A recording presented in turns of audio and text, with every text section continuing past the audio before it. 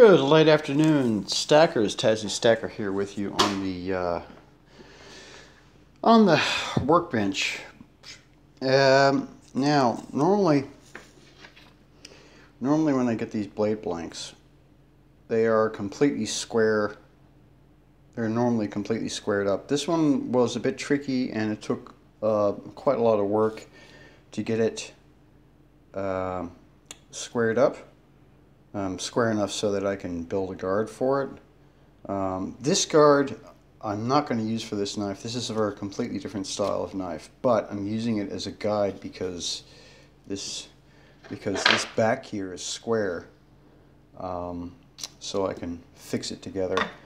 Um, yes, that's the other thing you got to do the, um, when you're working with blade is you have to tape the blade up because this thing is so sharp it'll cut the crap out of you given a couple minutes of work.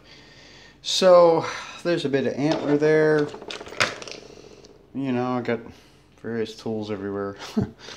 uh, anyway, this is just a quick update to say that yes, I am working on this knife and yes, it is coming along.